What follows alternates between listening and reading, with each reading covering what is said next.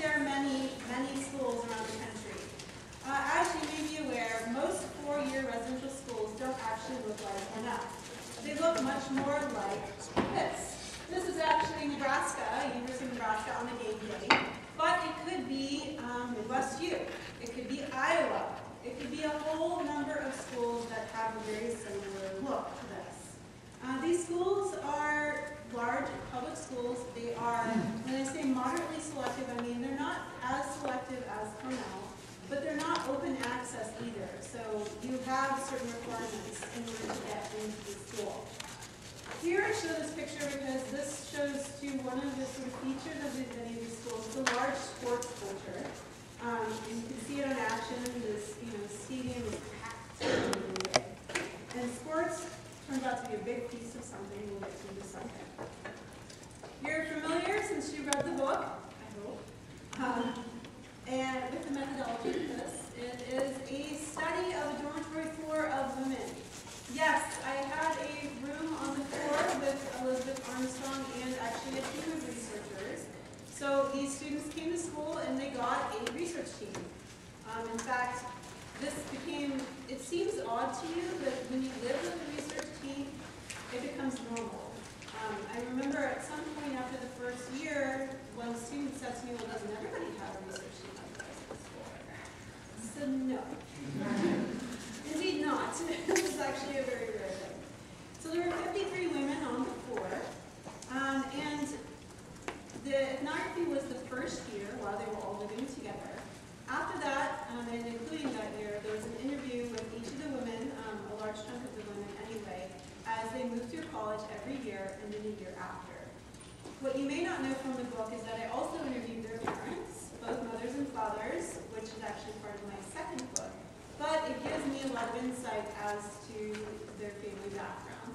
And most recently, I've been interviewing the women again, and they're 29 and 30 years old right now.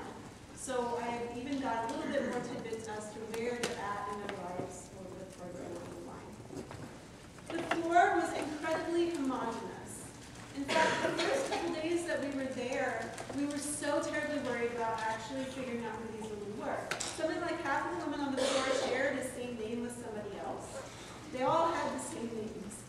Um, they were white. They were 18. They, um, there were so many ways in which they were similar, right? They were U.S. born. Um, the one way in which they varied dramatically was social class. There was huge variation in. In fact, just to give you a sense of what kind of variation I'm talking about, some of their parents, one of them had a CFO father at a Fortune 500 company. On the other end of the spectrum, there was a mother who was a waitress at a roadside diner in um, rural in-state area. So there's a lot of variation, and they were grouped in the book between less privileged and more and privileged. And this shows you how they were grouped. Um, the middle class group gets grouped with the less privileged because in a lot of ways they didn't have a lot of the resources they needed to participate in certain aspects of college, which we'll get to in a minute. The book is set up around an empirical puzzle, right? It starts with a, puzzle. And this puzzle is these two women, Taylor and Emma. Now, I'll give you a little bit of information about how educational scholars think. Typically, we predict how students in the in college and what kind of job they're going to get based on individual characteristics, what they're like at the start of college, what they bring with them. So we look at things like their drive. Both Taylor and Taylor and Emma had really strong ambitions to be dentists, right? This is a pretty um, difficult career to enter. They also had very similar grades, so their ability is another characteristic that scholars often look at. Both were doing very well in their high schools. And also class resources. So a lot of times scholars look at what kind of class resources you bring with you to college. They weren't that far apart. Taylor's family was upper middle class and Emma's was middle class. Both had college educated parents. So using everything that we know prior about how students should do, they should have done pretty similarly. However, they didn't, okay? um, their fates dramatically diverged. What happened, um, Taylor graduates with a 3.6 GPA. She goes on to a top dental school in the United States.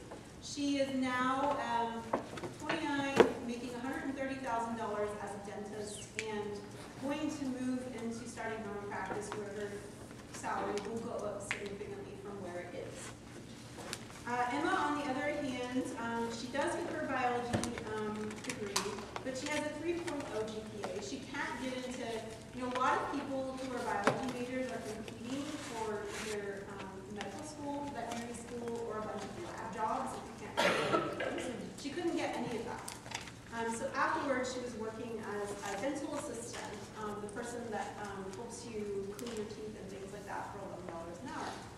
Um, and she also had some loans from college. I haven't talked to her yet to see where she's at, but I can tell from Facebook that her um, current situation is not anywhere near Kelly's. So why? How could this happen? Well, we rejected the idea that it was something about who they were individually that created this circumstance. Instead, we argued that what happened, this outcome, was a result of the fit between what these students brought with them their individual ambitions, agendas, resources, and most importantly, what the university provided. The organizational arrangements of the university mattered. Um, again, scholars have spent a long time not paying attention to organizational context, particularly at the higher education level. And we found that there was something about how the school was set up that is designed to serve a particular type of student better than others. These are predominantly affluent students. so let me give you a little bit of the theoretical architecture of the book. I like this picture. It's actually, well, it works well for the book, but it's also um, a really great example of a failure of urban engineering. It's uh, Spaghetti Junction. Um, so named for the many interstates crossing over each other. Um, I often wonder what would happen if the first one fell, right? Um, but Spaghetti Junction works perfectly for the concept of college pathways. So every school has a set of what we call pathways. Pathways are the social and academic infrastructure, the tangible things that move students through schools, right? Different college experiences are provided by different pathways. So I give the road, right, because it shows you, it really moves you through. There's infrastructure. It takes you through the school in a certain way. Um, and like roads, they pathways come with things like buildings, spaces. Um, they come with curricula, right? Um, they come with particular um, speeds. Some pathways get you through school a lot faster than others, right? Um, so I, again, I like that image. Um, and also some roads are more broken down than others, depending on what school you're looking at. So schools have usually more than one pathway. Okay, we identify three different pathways that most schools have in some particular combination. Um, and schools vary in how those pathways relate to each other. So which pathways are really well, um, really robust, really well funded, which pathways are broken down and almost not there, depends on the particular type of school. At Midwest U, the university, and, and, most universities, invested in what was their typical student. You know, universities are a business, and they tend to cater to the students that they can get the most financial support from. This has always been true for private schools, but this is increasingly true for public schools because public support for higher education is declining. So something like, I think it's, don't know the exact number at the moment off the top of my head, but something near 45% of public school support comes from tuition. So they're looking a lot more like private schools. And that means that you need to cater to the students that are going to bring you the most money. Um, and here's who that is that you can actually get, okay? At Midwest U, they can't compete for kids that go to the Ivies. Um, but what they can get are really affluent who are interested in a more social experience. And so these people want a particular world. And they're recruited with a party pathway. They create a social and academic playground for these families um, in order to bring in the money that the, that the university needs. They need to create a world that these students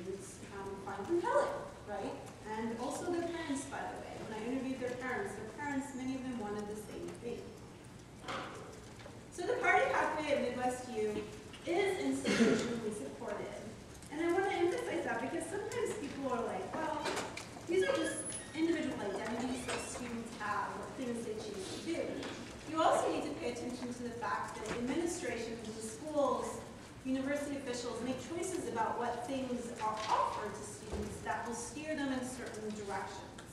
And there are three big things that um, at Midwest U, the university offered that really facilitated a very big party pathway, making the other pathways kind of hard to find.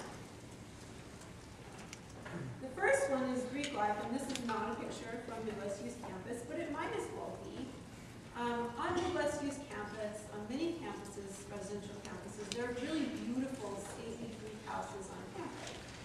Most of the time, these are private properties that are owned by the Greek organization. Midwest. They can't actually touch the houses. They can shut them down, but they can't touch them. And so there's a really strong disincentive to shut down a Greek house because it turns into an empty house, right? Effectively a ghost house.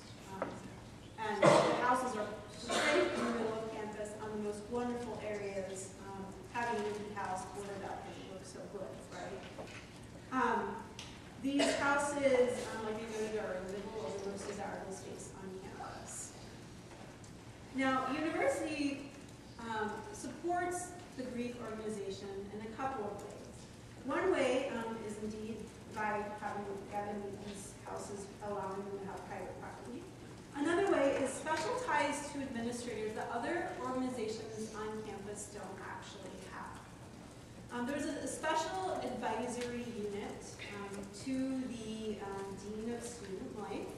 And on the special advisory unit, we're a Greek students, um, leaders in their house and also in the, the campus organization. But no other student organization members were on this board. Um, also importantly, these um, people on this board were part of the predominantly white fraternity and sororities on campus. Um, going, you know, on campus there were black, Latino, and also multicultural organizations, but they didn't have these special ties. They also didn't have houses on campus. And not having houses meant there was actually a huge disparity in power because as we'll talk about with the party scene, houses, space, privacy from policing is power on campus. And I pulled this quote up because this quote shows the extent to which the um, Dean of Student Life was really happy to work with Greek organizations. Um, he says, host institutions, meaning colleges, haven't always moved into that positive arena where we see the advantage of partnerships with fraternities and sororities. Institutions have the tended to have a supervisory mentality about fraternal organizations. Today, I think they're moving away from that sort of partner mentality. I'm emphasizing the word partner because a partner suggests that the Greek organizations and the university themselves are equals, working together, right? Instead of the university having some sort of particular power over these organizations. And indeed, in many ways, their power was quite limited. Greek life also um, had a monopoly on partying. And I should actually say a specific group of students had a monopoly on partying. Greek men in predominantly white houses had a monopoly on partying. Sorority women certainly didn't. Um, they obtained this in a few ways. One, they had spaces that were um, sort of free from policing. So when a party was happening, if there was an instance where something was going wrong or things were getting out of hand, there was an internal Greek policing system that was activated. And so Greek organization on campus overarching the houses would send their official. They would call the fraternity, hey, we're coming over, we'll be there in five. Okay, five minutes. What are we doing? Oh my God. So they shove everybody in closets and stairwells. There was a system called lockdown. and There were even red lights that were flashing in the house to underage drinkers out of the spaces in which are going to be supervised by the, the officer. Um, this, of course, was quite dangerous for people, um, particularly women, who would get locked in spaces with men that they didn't know. Um, so they come, they look, it's all good, right? They leave, the party resumes. This amount of freedom from policing did not exist in the dormitories, where you could get in a lot of trouble for having alcohol. Um, and when you did, there was a huge fine that was associated with many um, alcohol classes, right? So it's very unequal in terms of policing. And in fact, we suggested to the campus that they not police the dormitories so much, but they didn't think that made any sense, right? But it's an inequality in terms of freedom from um, policing. Also, monopoly on underage alcohol. Um, you know, if you didn't have a good faith, which they were really good at finding out students with bad faiths at the bars, and they, they get used to this, right? Um, if you're under 21, the, the fraternity is the only place to go. So fraternities have alcohol, they have space, and they determine the context under which parties would happen. Like the party things were all dictated generally by them in ways that really didn't work for the women as much, like the Playboy Bunny party with Hugh Hefner and his multiple bunnies, right? Like, was more geared toward the men. Um, and there's always sort of parroting and that were men, like, it's a sexy teacher student or I don't know, something like that. There's ho in many of the titles. I can't, I can't remember all of them. Um, but it's always the man in the position of power and the woman who always the right?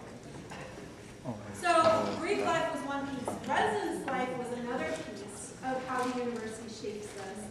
Um, schools organize how their students live on campus. They have very much control over that. And at this university, students were allowed to select into the neighborhood in which they lived. Neighborhoods had reputations. And students went online, their parents went online, did their research, and they found out that a certain neighborhood was a party neighborhood. And so all the affluent students who wanted the party experience flocked in droves to this dormitory, or these right, which we call party. Less affluent students who often didn't know this or didn't do the research kind of landed there by happenstance, right? And they were really confused at what they found when they got there. So this is actually one of these um, less affluent students, and she's really confused why everyone looks so much the same. She said, I got stuck in this dorm where everybody is exactly the same. And I was like, how can MU preach about diversity, more diversity? Here I am living in this dorm where every other girl has the same name. She goes to two. Um, they all have the same pink stuff, lots of pink stuff. Um, and they all look the same. I hate to be stereotypical, but this neighborhood is especially is just like people who are into partying and stuff. If this is random, how did you know? Like, how did you know where to put all these people, right? Um, I love this quote because it sort of illustrates like the different footing that students were on. Affluent students were there because they knew what it was about, and less affluent students didn't. And also, I should also note, um, when she talks about diversity, she's talking both about class diversity, but also racial diversity. These rooms were entirely white. Now, this is partly a function of the fact that the school is largely white, but it is also a function of the fact that the students who are non-white were typically grouped in living learning communities and other dormitories. Partly this was bad because it created too less it created less diversity field, but it was also somewhat necessary because it was what we call protective segregation. It would have been really awful for like one black student to live on each of these floors, right? Um, for many of the reasons that I'll talk about more.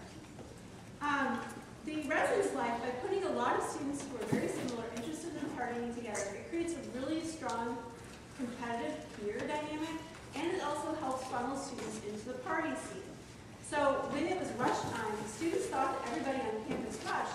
Well, in fact, it was everybody on the dormitory floor, or almost everybody the floor, right? Um, the, the university like, sent representatives to certain dorms only because they knew there was a lot of people rushing. And fraternities could pick up students from particular places because they were all clustered in one spot. So there was a huge fraternity pickup scene in front of the There's a big circle ride. The guys would drive up in their SUVs, usher women in, hand select the women they want, by the way. Not everybody got to go. Um, no men. So if you're a first year freshman guy, like, sorry. you don't get to go, right? Um, usher the women in and take them off, right? And this is a big place for them to organize. The other component of what the university did um, was easy majors. They had choice over what the curriculum would be, right? Um, and this school, not every school has these majors, but this school had a lot of them. Easy majors are majors that have high average GPA, which means they're pretty easy to get an A in, right? Um, they also have very little critical thinking, and students often learn very little over the course of their time in college. I offer some examples of these. Um, many of these are business light. There was a competitive business school on campus, but it was a whole different ballgame than the business light majors, which were scattered around. These were like um, arts management, sports management, tourism management. There was also fashion design, fa- fashion design, interior design, um, fashion merchandising, event planning, like, um, and a whole bunch of communication majors, sports broadcasting, sports communications, this sort of thing, as well as education. Easy majors are an important piece of the party pathway because they allow students to get decent and or good grades while not doing much at all. Right? And universities vary in this. A lot of school, I call this lifestyle majors, and you can actually measure. Like some schools have a lot of these, right? Um, towards a given whatever. And some schools have none, right? Um, it's an easy way for students who other things. Here's the majors of study participants, just to give you a sense of like how they get kind of moved into these majors. Um, huge host of them were in business, life, or communication, nearly 40%. Whereas let, uh, like around, uh, that was rounded up, that 4%, was less than 4%, um, who were in any kind of sciences other than the social sciences, like um, physics, chemistry, biology, or anything quantitative, computer science within that category, less than 4% of the four. So, in the face of a robust party pathway, which most university resources went to supporting, other pathways didn't do as well. If you think about it, universities have a finite amount of money, right? There's a pot of money, roughly, and they have to decide where the money is going to go. And so typically they go toward supporting whatever pathway is going to attract the student. This pathway, the professional pathway, was one pathway that somewhat suffered because the party pathway was so big. Um, it existed, so it definitely existed at Midwest U, but it was pretty narrow and hard to get into. So the, the professional pathway um, in general is, you know, the avenue you have to take to get to law, to get to medicine, get to veterinary science, finance, academia, professional careers that typically require a fair amount of education um, and tend to provide a very nice amount of income with them as well. Now, in general, class resources um, are a strong predictor of your ability to get on a professional pathway. Um, I like this phrase, um, laundering privilege, that someone, Mitchell Stevens, who's another scholar of education, um, has used because students who have a lot of class resources can bring them with them to get into really competitive programs. And then once they achieve and do well in those programs, it looks like it's something about entirely about them. They're just very smart, they're very driven. And anything that helped them get to that point gets washed away, right? So it's called laundering privilege. Um, students from privileged backgrounds tend to do really well in professional pathways because they have parents to help them figure out what you do to get there. Now, at every school, professional pathways have these characteristics, but at Midwest U, it was particularly pronounced. It was almost impossible to find the professional pathway if you didn't have parents that could get you. You didn't, you know, they had a lot of um, unforgiving sorting mechanisms, criteria that you had to have in place before you got there in order to get in honors programs or business schools.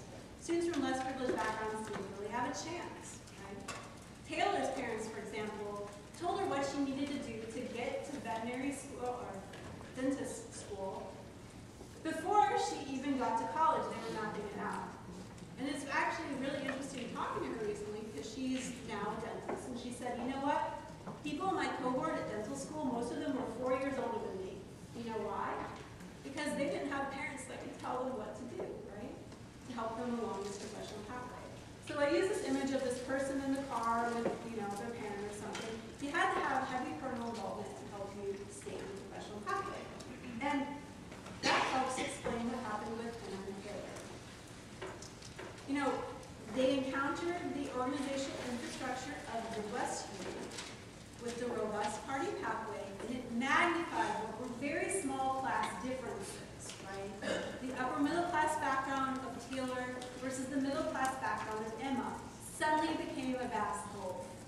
Because Emma didn't have the kind of parental resources that can help her navigate and stay on the professional pathway like Taylor did. I brought a couple of examples of what happened specifically. So part of the problem was Emma was a wild social success, and her parents didn't understand how to help her um, navigate away from too much social life. So in the sorority that she got in, the sororities were very much ranked, as I assume they are here and everywhere else. There are some elite sororities and there are some not so elite sororities. Um, Emma got into one of the top three sororities, which was kind of crazy because she was one of the very few less affluent students, even though she was middle class. And I went to I went to an interview with her there, and it was like Tuesday night. And everything, you know, they were all getting ready for the party. Lots of promotion, um, loud music, hair dryers. We were working in the study room, and I was like yelling at her, right, in the study room on a Tuesday night because it was so, they were all getting ready to go. Um, her parents were so excited about this. They thought this was great, right? They didn't realize that this would really cost Taylor's mom, on the other hand, who was a professor at another school, her daughter got into a sorority. She helped her get in, but she made sure that her daughter didn't get into the top sorority. She encouraged her daughter to get into one of the so-called nerdier sororities. And they were called nerdier in part because there were women, of, you know, some women actually studying biology and things like that, more serious majors. Um, but still, even in her sorority, she had to turn her mom to help juggling her social life. And she would call her mom up and be like, Mom, what do I do? It's party week. How do I balance work and all of this stuff? And her mom would give her advice and she would write it down, literally. Um, and her mom kept her focus throughout a lot of this. Her mom was also an academic coach. Um, you know, they, as I noted earlier, guided her through school, told her exactly what she needed to get into dental school. This was not something that most students had available to. Um, they knew that a lot of, for dental school, it's not just your grades, and this is true for a lot of various programs. It's a particular profile that you need, and it has to have a certain set of extracurricular activities and leadership activities. Her parents made sure that she got into all of those, and also arranged um, a dental shadowing program for her, so she could figure out if she actually liked teeth. Turned out she loved teeth, which was kind of good, right? This is an old time. Um, so for Emma, what happened was two things. One, the party pathway was way too appealing. She spent too much time in the party scene, and it showed, right? Um, and her family realized this later on, as did she. And also, the professional pathway was, it required really sophisticated parental navigation. Her parents didn't know how to help. They even had college degrees, but they didn't know specifically um, what dentistry might involve, what kind of, what to get to that professional career would actually need to do, nor did they know just how involving the social scene the Midwest really was, and how much time it would detract from her work. So these two pieces kind of demonstrate part of the problem. Um, and it shows that increasingly parents are mattering for how students do in school and how well they fare. You can of see this when you also look at the circumstances that surround the third pathway, um, which was, I liken it to like a country road that you don't know where it's going to go. It probably drops off a cliff somewhere and it's really barricaded. And there's probably a pothole and your car's going to lose a wheel somewhere along the line. That's what the mobility pathway looked like for Midwest U. And that was the pathway that relies the least on family resources. If you have a mobility pathway, you've got some infrastructure that levels the playing field for those who don't have family advantage.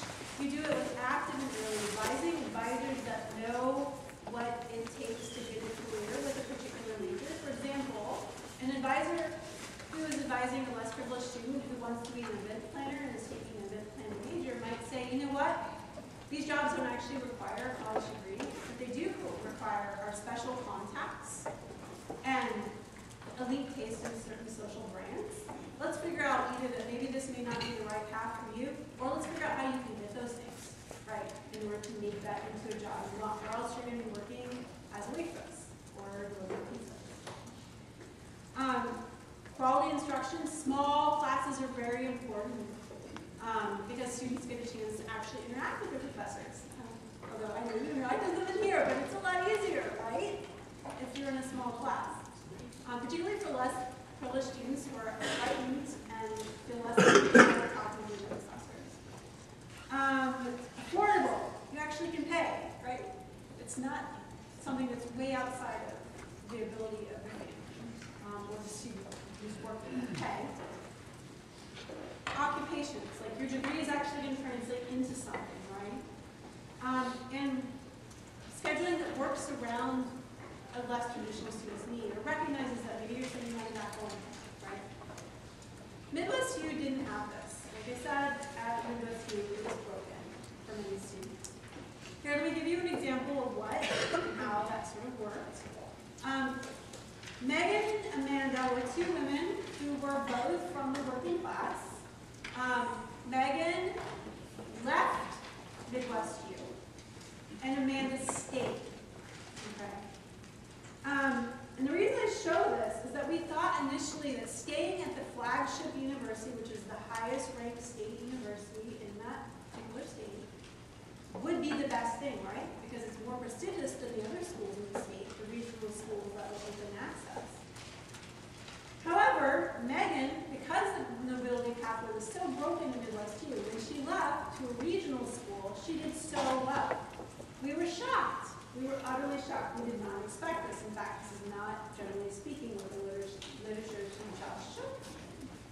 Um, she was super comfortable on her new campus. She made friends. A lot of women who were working class made no ties when they stayed at Midwest U. When they left, they made friends. She could afford her schooling. The rest of her schooling was cheaper than one year at Midwest U. She ended up as a psychology major, which she turned into a counseling job. She's now a school counselor. She went to graduate school, got a master's, and is now a school counselor. Um, she actually graduated, which so many students don't. Um, and she, like I said, attended her master in her um, graduate school and only had 13K in loans. It's not that bad. Amanda stays. Amanda never felt like she fit in at any point in her college career. Even now, it's still painful for her at 30 to recount what she experienced when she was in college.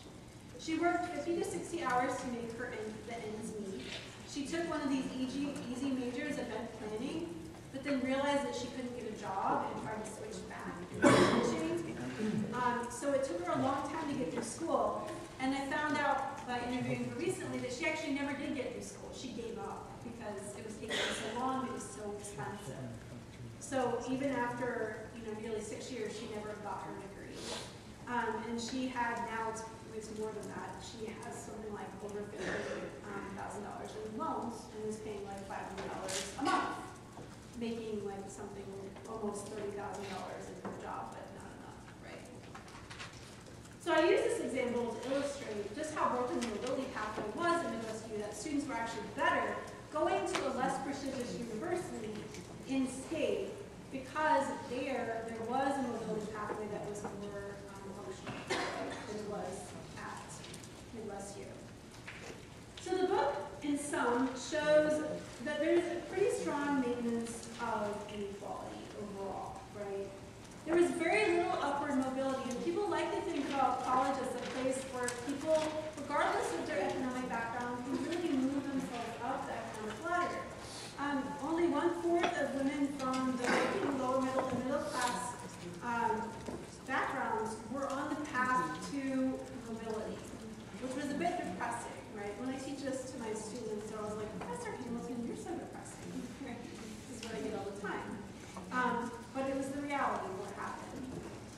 There was lots of reproduction of privilege, so almost all, or not entirely all, but two-thirds of upper middle and upper class women um, managed to reproduce into the upper middle class, or were looking like it, right? Um, many of them are not going to be as successful as their parents, but they were making it into the upper middle class. A third of upper middle and upper class women were looking like they were downwardly mobile. So the party pathway wasn't just um, potentially detrimental to um, people who were less affluent. Some students um, were not able to pull it off. Their parents didn't have enough connections or resources after college to compensate for what they had done while they were there. So this leads to sort of two conclusions. So one conclusion and one question that I continue to ask, and I don't entirely know the answer to, but I'm working on it, is, is college really the great equalizer? And particularly when you take into account the huge amount of students that don't graduate, um, when I think about that, I often say to myself, probably not. Even when you look look among students who do graduate at the same school at Midwest U, it looked like not everybody was getting the same thing out of their college degree.